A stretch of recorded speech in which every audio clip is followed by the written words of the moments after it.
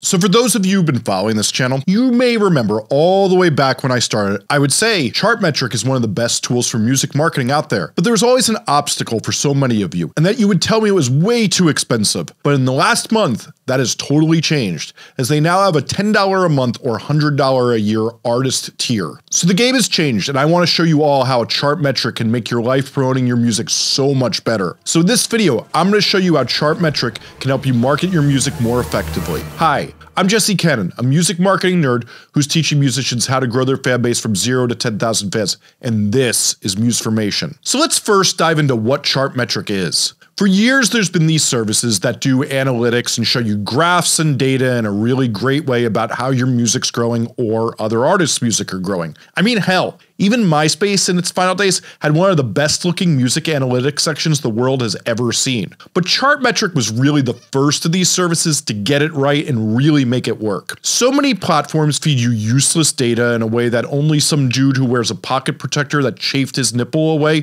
could even understand. I'm literally the person labels call to crunch data, and I'd stare at these sites and wonder what brain injury the person who designed it had that they thought anyone could use the data the way they present it. All that's to say, that's not the case for Chartmetric. It looks good and makes sense even for those of you who aren't the uh, best intonated guitar in the Strat section at Guitar Center. So in the past when I would recommend Chartmetric, I would be met with YouTube comments that said, What the hell, Jesse? You mega billionaire oligarch millionaire pig, who the hell can afford Chartmetric? It costs $140 a month. And while I would question if you people understand the words you use to disparage rich people, or if you really think I would have that wood wall in back of me if I was a millionaire, it was hard to argue most DIY musicians don't quite have the money for an expense like that. But with this artist here, for $10 a month or $100 a year, it would be hard for me to not recommend it. And yeah, I know this is starting to sound like a commercial, so let me just say, Chartmetric did not pay me to make this video. They did give me a free account to play with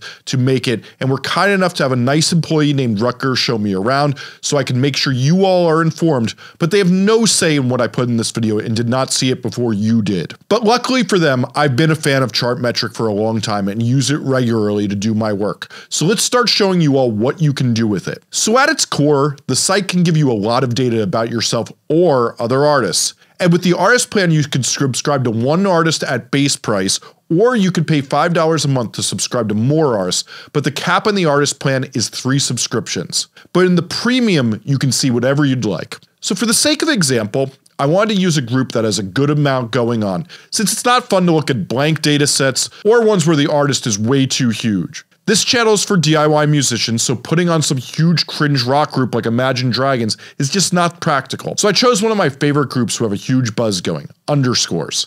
They're an all over the place, sometimes hyperpop, sometimes folky weirdness type pop group. So after you purchase your plan, the first thing you need to do is click on the menu in the top right and click account settings, then subscription and you're going to subscribe to an artist. This will be the artist that comes up in your dashboard and who you can get the most data from. So let's look at Underscore's artist page. As you can see has a dashboard of stats, properties, and all sorts of helpful information. And if you get to yours and some of your information isn't linked, well, you could add that by going here. I've had to add for a few of the artists I work with, with even millions of plays, so don't take it as an insult. It's more about technology playing well together, and not all of these sites make it easy to harvest information. So the reason you want to do this is you can now take a look at how you're doing across tons of platforms at a quick glance, instead of having to open up Spotify for Artists, then YouTube Studio, and all these other apps, and look at your stats. You can just see what's going on right from the jump here. At a glance, you can get a glimpse of how you're growing. Or if you're not growing and things are going down, you can realize you better start putting out more material. But really, you can see so much. You can see top tracks. There's also all these views of data for data. As I've told you before, every manager and label person is now horned up for data in like the way that commenters on my YouTube channel who thinks it's profound to comment good music is the best marketing tool is horned up for well, anything, since no one's gonna fuck someone that says something that's stupid. Anyway, as I've said, when you pitch these managers and A&R types to work with you, it's always great to show one piece of data that shows you blowing up, and boy do these charts make a nerdy suit in the music business heart go pitter patter. Since you could format the data in all sorts of ways and, well, If things are going even moderately well for you, you can make it look good. And if you don't get that, just remember I answer every question in the comments below. So Chartmetric has a lot of data. They have their own rankings on how big an artist is that you're compared to with all other 7 million artists they have in their system. And then in this audience tab, you can see tons of stuff about top cities and countries, even brand affinities if the artist is big enough that would possibly partner with the artist. There's even Instagram top posts listings so you can see what's performing best and analyze your strategy, and truly so much fun data that you can use to analyze all in one place. And as you can see here, you can see one of the things I'm a biggest fan of, which is you can see the similar artist list to all these artists.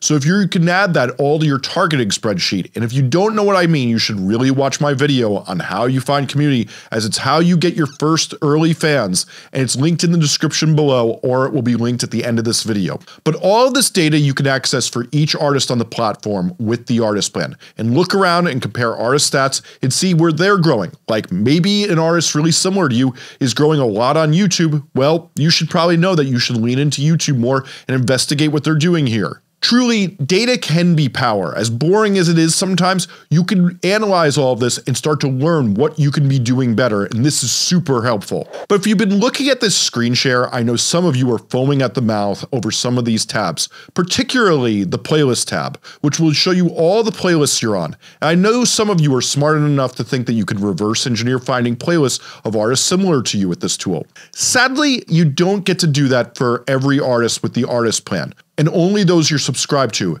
But it's one of my favorite parts of the premium plan, but I've long used Chartmetric to find the playlist to pitch to for artists. It's such a good tool and goes back super deep. And it even has really great tools so you don't waste your time pitching to useless playlists. But here's what I will also tell you. If there's two buzzy artists in your genre and you want to target the TikTokers and playlists that are into them, it's super easy to pay for that money to subscribe to just those two artists and watch the playlists they get onto, as well as the people who make TikToks about them. But Chartmetric truly has a great view of the playlist each artist has been on, so you can pitch them. But there's other really helpful playlist tools here. For those of you who want to find playlists that you could pitch to, you can go to this playlist lookup and put in subgenres, and you're able to filter out major labels' own playlists since they only add their own artists, or even Spotify editorial or New Music Friday ones, if you just want to see indie curators. If you filter down to your subgenre, it really is ridiculous how much you can filter through and how many playlists you can find.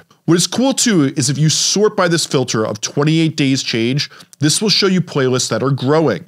So let's say you click on a playlist, it will show you all sorts of helpful data on playlists like when artists get added.